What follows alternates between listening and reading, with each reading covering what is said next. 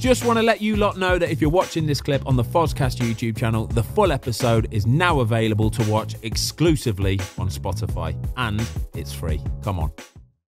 One one particular football match that is probably one of the biggest regrets of your football career is the Champions League final um, against Barcelona. Unfortunately, a 2 1 loss. Um, I just want to talk about. So, for me as a goalkeeper, you know, I'm, I remember watching that game and Jens Lehmann getting sent off early on in the game as well, 20th yeah. minute. He gets sent off, um, and I'm, I'm absolutely gutted for him. You've got to think about this on a human level. And he has played probably his whole career wanting to get to a Champions League final and it lasts 20 minute long for him. Do you remember back to that day just how gutted he was when he had to when he came off the pitch? You were so angry or disappointed yourself. So you're like, I don't think it, all you saw was the floor. Yeah. But of course, Jens was on on a different level of disappointment, and uh, but he had been so amazing the whole year for us, and in the Champions League specifically, that we respected him so much. There was no no one would say a word or yeah, like no you blame. know blame not even close to it. it was just like you're phenomenal yeah a mistake happens and we tried to fight for it to fix it for him yeah. we didn't achieve it uh, but i think for us it was more i know everybody outside maybe didn't feel we felt we were better than barcelona yeah so we were like we're going to win this we walked into that we're like they are great offensively we're great offensively but we felt we're better defensively than they are so we're like as long as this becomes a proper fight we'll have it. So for me, it was a shock to the system not to win the game. Um, like you say, 20 minute, 20th minute, the win gets taken right out of your sails. Like everybody's expecting Arsenal to do well in this game.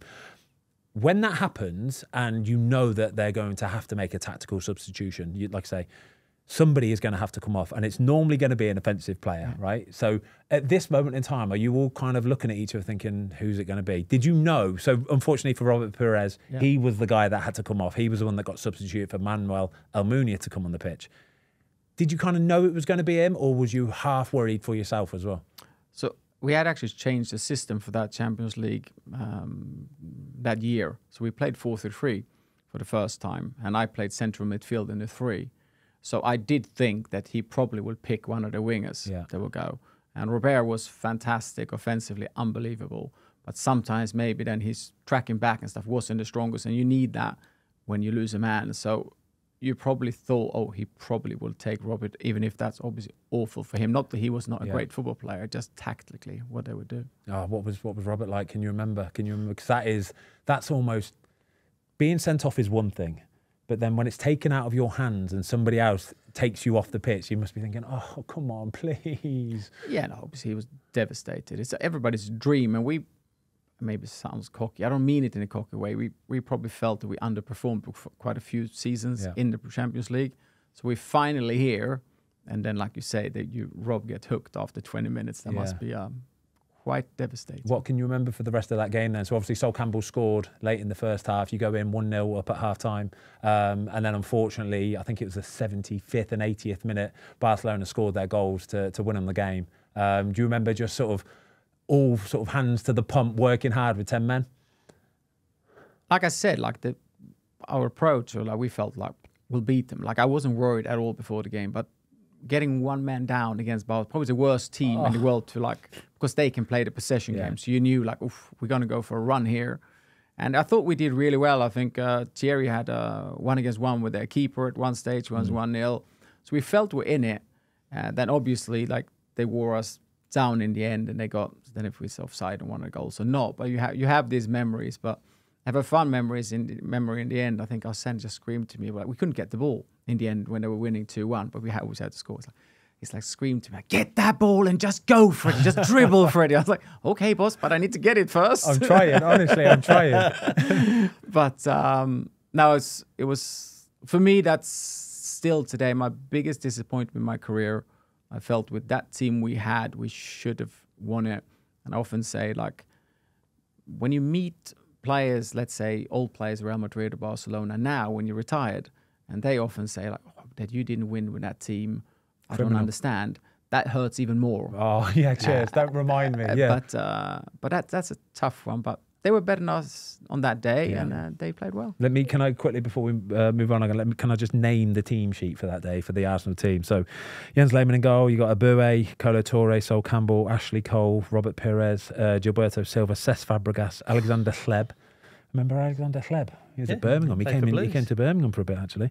Uh, yourself, uh, Thierry Henry on the bench. You've got Manuel Almunia, Philip Senderos, Gael, Clichy, um, Dennis Bergkamp, Robin van Persie, Jose Antonio Reyes, and Matteo Flamini. What a squad that is, mate. It was a nice team. Yeah.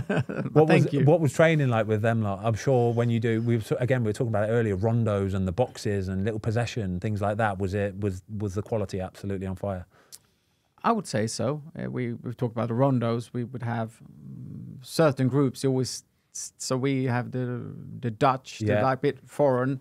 We were in one group. Then you had the English group over there, and it was we had the Brazilians as well in ours. Oof. And so I would say, yeah, you didn't want to get stuck in that uh, in the middle. That took some time Which, to get out which of. group was the best? Which group? The English group or the uh, or the foreign foreign group? Yes, you had the French because there were quite a few of them. Yeah. So I was obviously in the other foreign group. I've said I was obviously the best. who, who was telling us the other day that the, it's the Spanish? Was it you saying Yeah. the Spanish rondos you do not want to go anywhere near? Yeah, but we at Watford we had a big Spanish contingency. We had sort of seven or eight Spanish players, and they were all very technically gifted players. Um, and like I say, every day they would do the boxes. Every day they would do the rondo, and the goalies would always join in. And one goalie could go in with the Spanish lot, and one goalie would go in with like the English lot, basically the Okay, English yeah. and rest of the world lot. And as a senior goalie, I would be pushing the other goalie into the Spanish lot because if you're in the middle of the Spanish rondo, you are getting made to look an absolute fool. You're getting nutmegged, you're getting olayed, and you're staying inside, running round like a madman. Honestly, it's horrible. Because you go, did you have the rules as well when you how do you get nutmegged? You stay double. Yeah, double, So you're you in go again. on yeah, like three, again. four Yeah. different nutmegs, Yeah. you're in there. Twenty for a while. passes or a nutmeg is an you have to stay in one more time. Oh, it's brutal. and you can add that on as much as you want. as want. much as it can Yeah. accumulate, accumulate, and like I say, when you're a goalie, you're shifting yourself all around the place. It's not the Are one, you these know. the kind of things in training that the players enjoy the most, or would they be? Would it be like a small-sided game?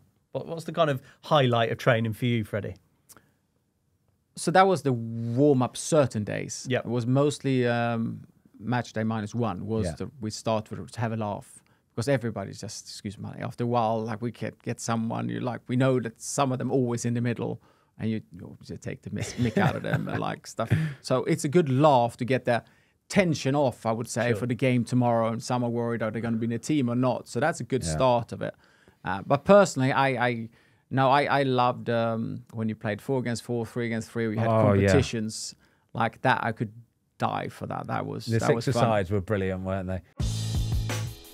Thanks everybody for watching. We hope you enjoyed this clip of the Fozcast. If you would like to watch the full episode, it is now available exclusively on Spotify for free.